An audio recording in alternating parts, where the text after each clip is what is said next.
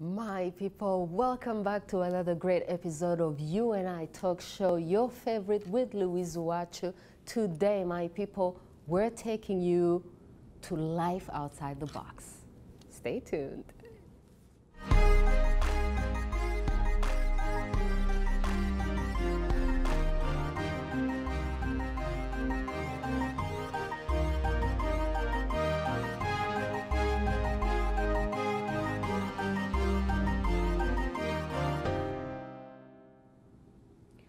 Right, my people, we're back this week with Marilyn Wilson.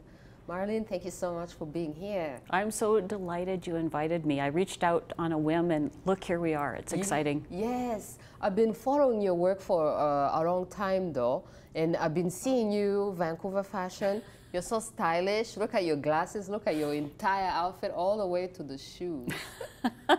I, I worked with a stylist for four years to get that. Um, when I started out, I was buying the most inexpensive clothes. I had little kids, we had no money, and when I fell into writing, it happened to be in the fashion world.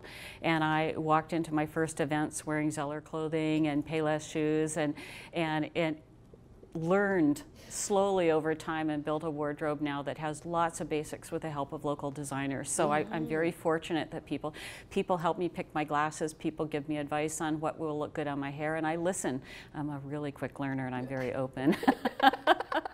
and I'm so grateful to my friends that helped me. uh-huh, they did a great job today. Yeah, thank you. So what are you what, what are you doing with Vancouver fashion? I mean, I'm always seeing your posts about Vancouver fashion. It's so fascinating. Well, you know, it's it's really interesting. In 2006, um, my kids. I originally studied counseling and drug abuse, and I was in my master's, and I realized it was it was way way too negative for me, and I walked away, and I just never found something else that that suited me.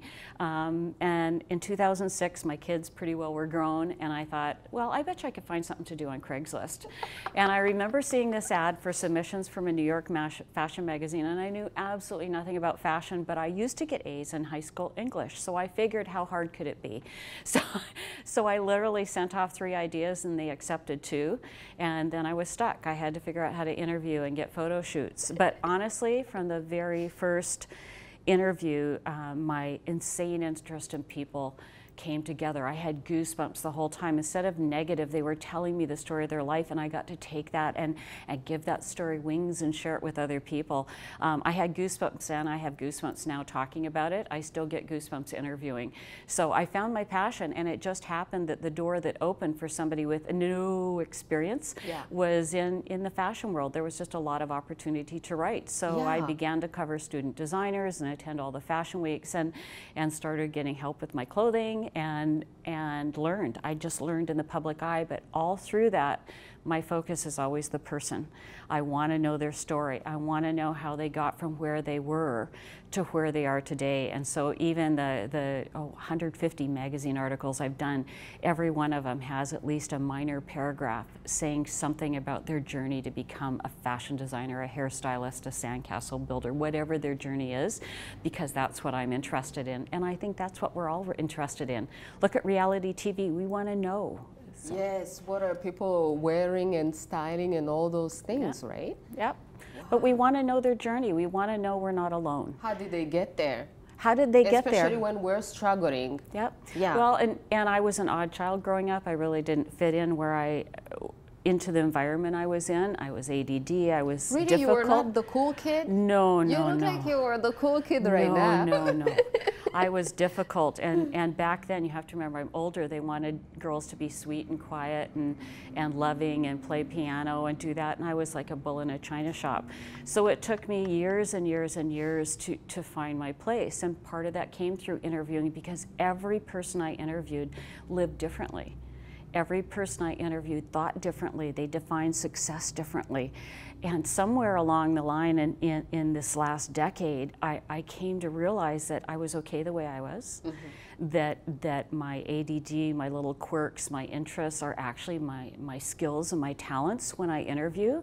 So no, they don't work in every social situation, but when I'm doing what I love, they're they're perfect for me. Mm -hmm. And so so what an eye opener. I, I mean I was almost I'm not even gonna tell you how old I am at this point, but but I wish I could have learned this when I was younger. Yeah. And I think that's when my magazine folded I was quite upset. Mm -hmm. um, it was the time that came to an end. And, and when I walked into books, I realized why. Because now I could tell more stories. You know, mm. my book has 10 biographies that I've chosen because the lives are so different. Yeah. And it's really meant, I just love giving people permission to know number one, you're exactly who you're meant to be. Number two, it's never too late. Number three, those little quirks that everybody says, oh, Marilyn, if only you could just. I don't need to just. My quirks are my talents. You, to, you know, the permission to embrace their journey that they choose, to, to step outside of what society is dictating, and, and really be validated to live the life they want. Yeah. So I, so I feel very really blessed. What's really funny is that you say that you started when you were really uh, mature. You say you started when you were 49 years old. I answered a Craigslist. But right now, you look like you're 49 years old. So well, I don't know if you're just getting started. bless you. I've been in the I've been in the industry a decade now. Um, and I actually uh, launched my first book five days after I turned 60. I had a birthday party. 150 people came. The community that supported me in this journey and gave me a chance to write all came and we partied and celebrated and we had performers and, and, and we just had a joyful evening um, because it takes a community to to raise you up sometimes. You know, this is so amazing because um, usually when when people get older, usually it seems like their career is going down. But you, you got older and your career taking off. You know, that's so beautiful. There's a childhood book called Leo the Late Bloomer. And I, I, always refer to that. Some of us come to it later in life, and whenever it comes is the right time for us. Um, I spent years with no friends. I spent years with, with self-doubt, even writing my book. I had terrible, terrible moments of self-doubt. And through it all, though, the concept that came, that was handed to me in an inter interview is Ujamaa, which is the one of the days of Kwanzaa. And it talks about a village coming together to raise everybody up. Yes. And, and so I began to realize that's how I need to make friendships and that's how I need to choose who I work with in business. And it, it just changed everything. I have the best supporters around now. The people I work with in business are people I connect with. We're on the same line because I look for people that we came together without competition and are working to raise each other up. And that's why I love the intro to your show. It gave me goosebumps when I heard it because this is a concept I, I start every day with. This is a concept I walk every day with that, that we are a tribe, we are a village, and we are not alone. We're here raising each other up. Yes, we are. Okay, let's take a short break, my people, and keep building our village. you and I talk show with Louise Uwacu. We love you, the authors, the musicians, the comedians, the entrepreneurs, and all other talented and inspiring people. Please contact info at uwacu.com to be a guest on the show. All right, my people, we're back. We're still talking to Marilyn Wilson. So, you have a book. Eventually, you take all those stories of all those people that you have collected, and then you select 10 stories, yeah. and you put them in a book. It's called Life Outside the Box. Yes. So, how did the book come about? And how did you select people? Why these particular people, you know? Because you, you have like hundreds of options. Yeah. That, that's a really, um, it's a good question, and it's one I always struggle to answer. Um, when the magazine folded in 2012, I was really in a dark space because I'd put all my writing and all my focus into it. And I almost quit writing. I finally gave myself six weeks. I sat down and wrote on a blog every day. I mean, it could be a word of the day, something in the paper. No real focus to it to decide if it's what I wanted to do. And when the answer was yes, then the, then it was time to figure out what that meant because magazines weren't allowing me to tell the stories I went. And I happened to hear Julie Salisbury's Influence Publishing talk, and I started crying. I don't even know what she said. I just knew, uh, you know, our instincts lead us to where we're supposed to be. It's like that Craigslist ad. I saw it and I knew and I jumped. So I sat with her and talked with her, and she agreed it was a it was a great idea. So which to pick? Um, there's just a lot of intuition that goes into it. You want stories where people had very easy lives. You want people who are financially successful. You want ones who have faced a lot of discrimination. You want people who have struggled with illness.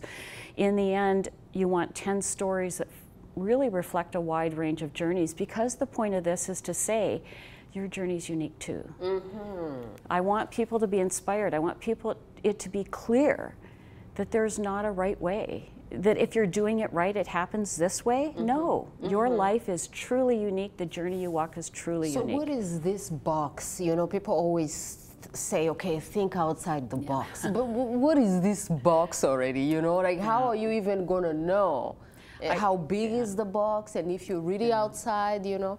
Um, it was clear when I grew up. You have to remember, um, I lived in a tiny town. There was no internet in the middle of America. My, my dad was a minister. Everybody thought, thought the same. Every newspaper said, the one newspaper said the same thing. The one, the one TV station had the same news. Everybody agreed.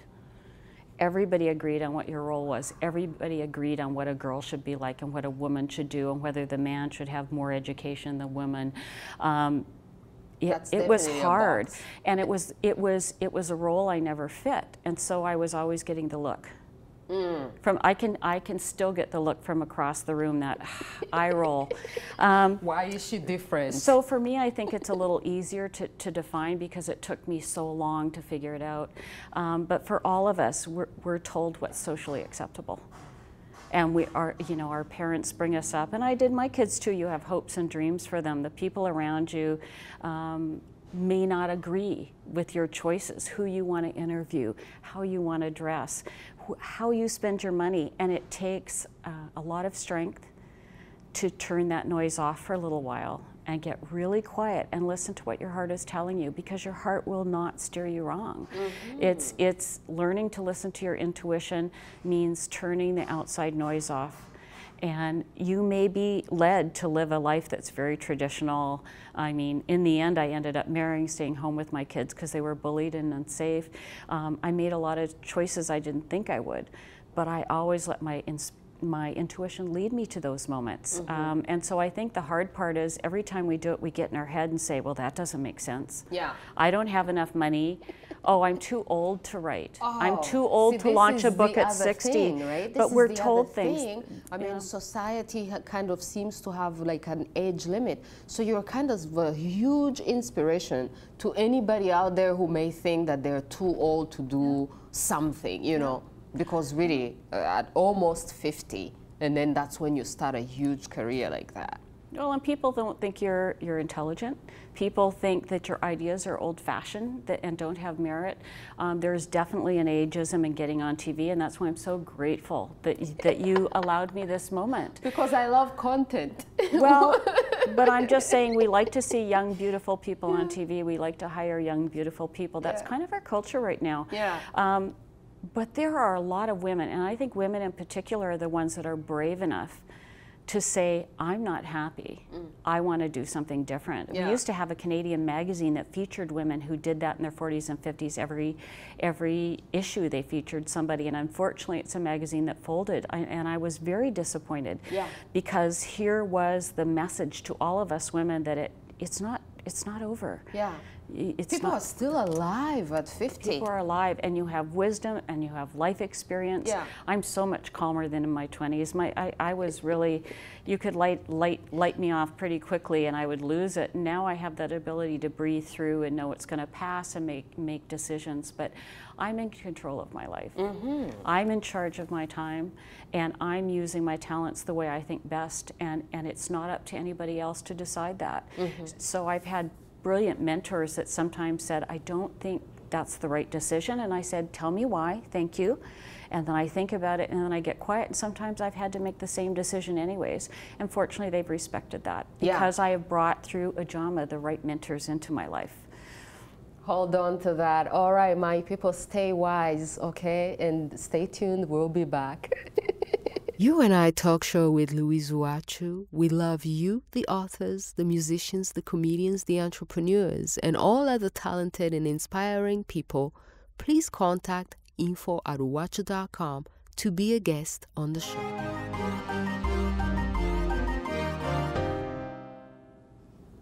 All right, my people, we're back talking to Marilyn Wilson. You know, in the African culture, we have no respect for young people. Oh. We only respect older and elders. This is why you always have the elders. Yeah.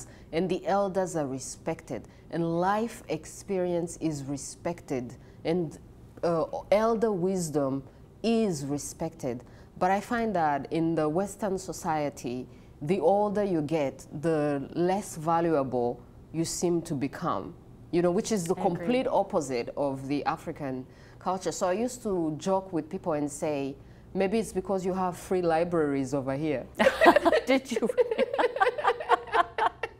I do think that's true. And I think if you go, I went to a First Nations uh, benefit back in Hamilton, and the elders were on stage and the elders were performing. It wasn't just young, beautiful, talented First Nations people up there. There was a full range, and the respect given was quite an eye opener for me because I wasn't brought up in that. Yeah.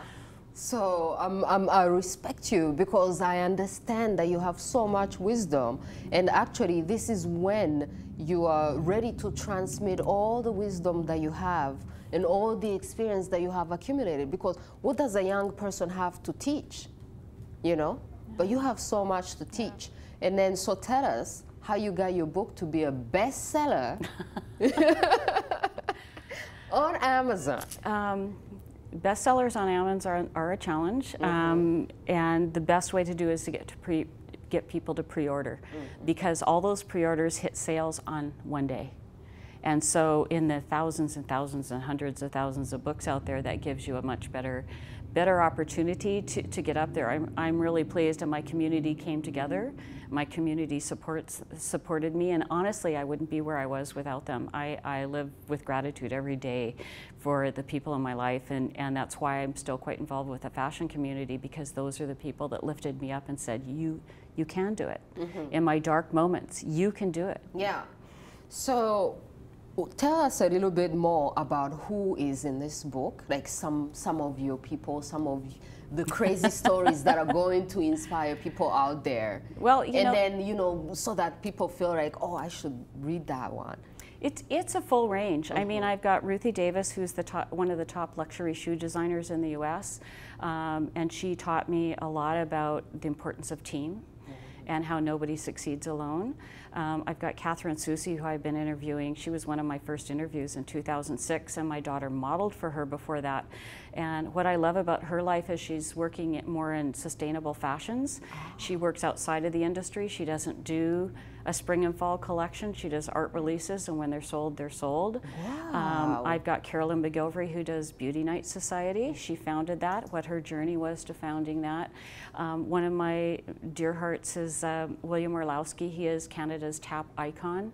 Um, people don't know him as well today, but he started way, way back at Anne Murray's time uh, performing tap on TV and founded Canada's first tap company that toured the world with live orchestra and absolutely cutting edge choreography. Um, I've got Lisa Marie Mazzucco. She is the wife of Rafael Mazzucco, who's a famous photographer, and she traveled the world with him for many years uh, doing hair, makeup, and styling and film production, and then decided to stay home with her son and became a photographer in her own right right. Every one of them are different. Uh, Pamela Masik, a local artist who did the series, the Forgotten series, that, that was very controversial on the women killed in the downtown east side. And like I said, some of them have had easy journeys, some of them had hard journeys, some of them are financially successful, some of them aren't. But each of them chose this life. Mm -hmm. Each of them lives it fully mm -hmm. and mm-hmm. truly. Yeah. And each of them chose to define success differently how do you define success right now after hearing all these people talk about success? you have a knack for just the right questions. I was brought up a minister's daughter, and success was a dirty word. Mm. And, and I began to ask people because I was curious how they defined success in their life. And all of a sudden, one day after my book came out, somebody asked me that question, and I was absolutely speechless. I had actually never considered it because it was a dirty word when I was growing up. Yeah.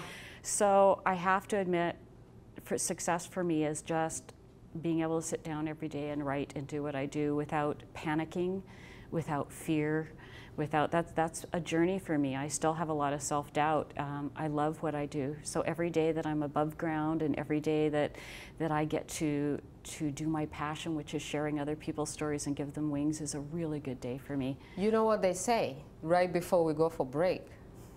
Doubting yourself is a sign of intelligence. Oh, I love you best. I'm going to write that and put it on my wall. My Who other else is so sure of themselves my that other- they never doubt themselves? my other other favorite is from a mentor of mine, and she said, um, "Fear is excitement without the breath." And so when I feel fear now, I try to breathe and think of it as energy and excitement, and that's that's been a big help too. Aha! All right, my people, let's take a short break and we'll keep talking about this.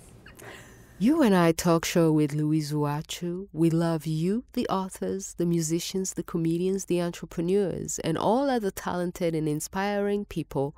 Please contact info at uwacu.com to be a guest on the show.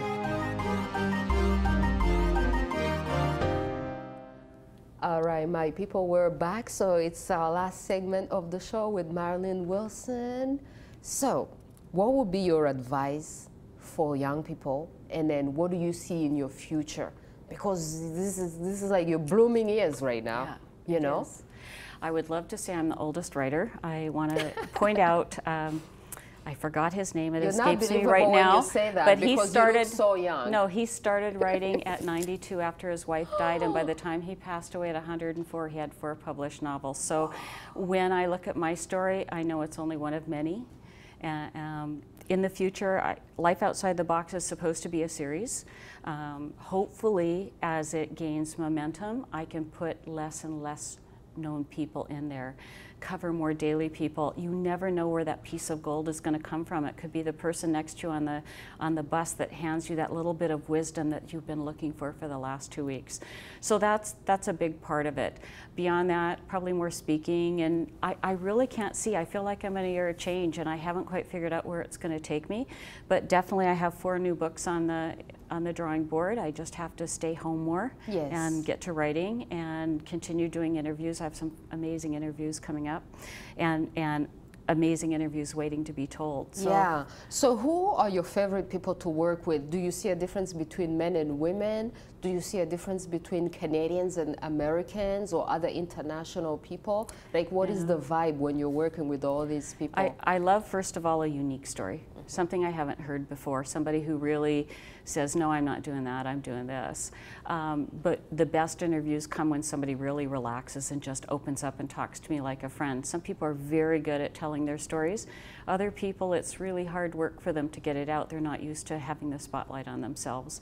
So you have to just be very present and, and encouraging and sometimes you work harder than others sometimes it's just this beautiful story and language is handed you so the other thing i want to go back to is what advice do i have young people is is work hard yeah. work hard there's a sense of entitlement now um, i still am working on this being a financially successful thing uh, four to ten years is the average um, some of my interviews going in the next book talk about this. You need to work hard. You need to quit worrying about recognition and stuff. If it's what you really want, you need to work and put your mind to it. Actually, I'm under the impression that nowadays young people want recognition without anything whatsoever, without having done anything, you know. People It's- want to be recognized, people want to be popular and famous without necessarily having accomplished anything. I, I think that's part of our culture now. Mm-hmm. I've got my degree, I've earned your respect, and it, it doesn't come that way.